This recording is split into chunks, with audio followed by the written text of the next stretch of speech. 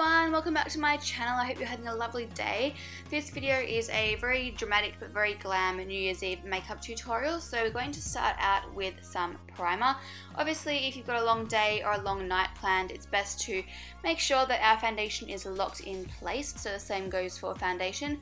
This one is actually a long wearing one as well. So then I'm going to apply some under eye concealer whatever normally works for you. I don't think New Year's Eve is the best day to experiment with new products, so I'm going to stick with what I know.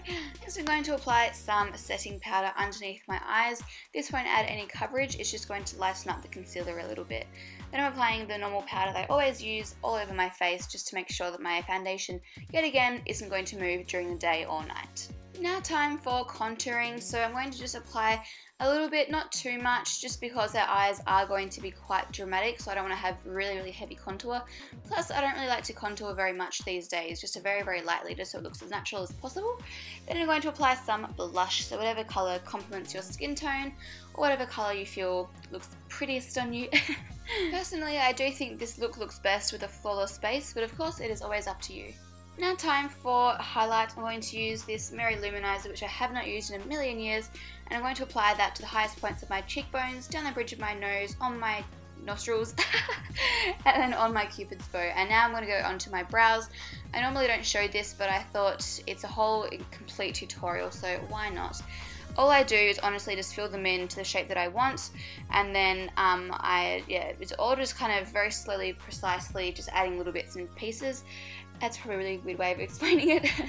and then I just go in afterwards and I set it with a gel. Setting with a gel is very, very important because otherwise they get all messed up and all that hard work was pretty much for nothing. I have been contemplating filming a video just on how I do my eyebrows, so if that's something you think could be interested in, please do let me know in the comment section. Now for the scary part, which is black cream shadow. So the trick here is to keep on applying it until you get to a very dark black and don't apply it too far up towards the crease because what you'll do is make it look like you've been punched in the eyeball, which I know is everyone's main concern with a black smoky eye. So if you do what I do and just end it a little bit before the crease and then use a small blending brush and just blend and blend and blend and blend and then blend.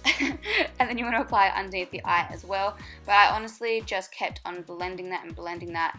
Um, and if you do find it hard, you can always add a bit of black to help blend it out, but whatever works for you. And now I'm just obviously tightlining my whole entire eyes and then choosing a kind of reddish dark brownie shade with a big fluffy brush and blending that into the crease just to aid in the uh, gradient or the blending of the black.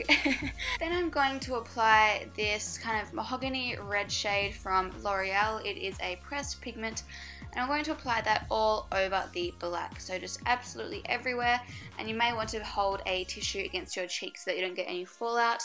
Um, but this black base just makes the red a little bit more subtle but still noticeable so I love how this turned out and then I'm also going to apply that underneath my eye obviously so as much as you blend on top you want to blend on the bottom and make it all look very very flawless and seamless. I'm taking a smaller brush and I'm applying that in the inner corners of my eyes just a little warning because of the color of this product if you do go too close towards your nose it will look like a black eye unfortunately.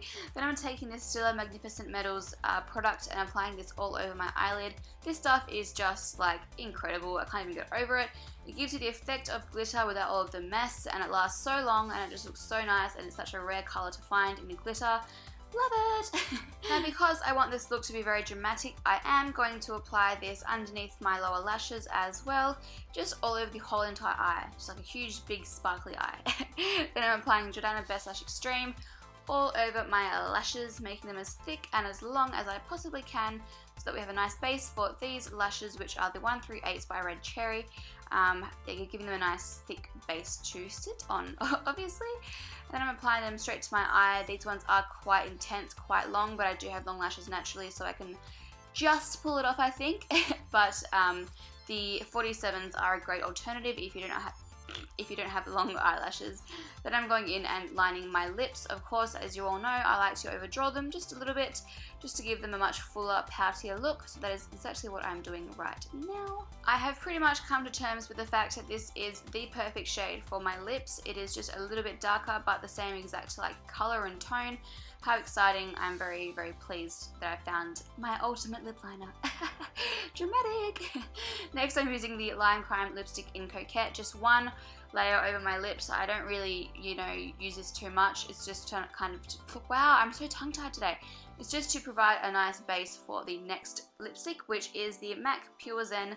And I just overdraw my whole entire lips with this one, even the lip liner, because it just brings it all in together, as you would have seen in my video on how to create big eyes and big lips.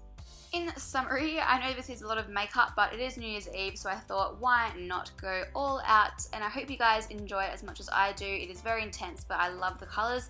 Hope you have a great New Year's, and I look forward to seeing you all next year. Bye, guys!